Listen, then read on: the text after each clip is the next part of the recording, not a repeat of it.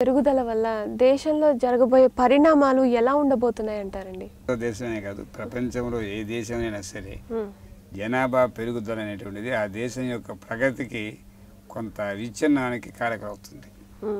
అంటే అభివృద్ధికి కొంత కుంటుపడేట్టుగా చేస్తుంది. చేస్తుంది. జనాభా పెరుగుదల తగిన రేషియోలోనే ఉండాలి కానీ ఆ రేషియోకి మించి వెళ్ళకూడదు. వెళ్ళకూడదు. అట్లా ఈ ప్రస్తుతం భారతదేశపు జనాభా సమతుల్యత అని ఒక పాయం ఉంది. ఇంగ్లీష్ మీడియం ఇంగ్లీష్ అయితే ఈక్విబీమియం స్టేటస్ అంటారు.